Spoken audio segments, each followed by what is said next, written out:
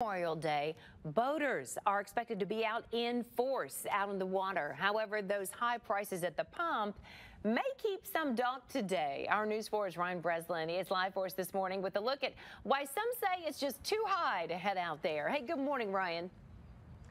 Hey, good morning to you all. Yeah, gas prices at marinas in Middle Tennessee are hovering around $6 a gallon. So people are having to consider whether or not they want to be out here boating on one of the busiest boating days of the year. Some of the reason that the gas prices are so high here at marinas is because they don't get as big a supply as regular gas stations. So the marina says they miss out on some of those discounts. And this will be a big test to how the summer will go since gas prices don't appear to be dropping. Boaters are certainly taking notice.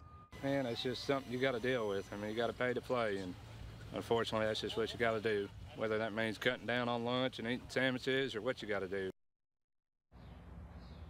Now, the TWRA says that they will be out patrolling, making sure people are not boating under the influence and making sure that people are wearing their life jackets. They say that alcohol plays a big role in most of their emergency calls in the summer.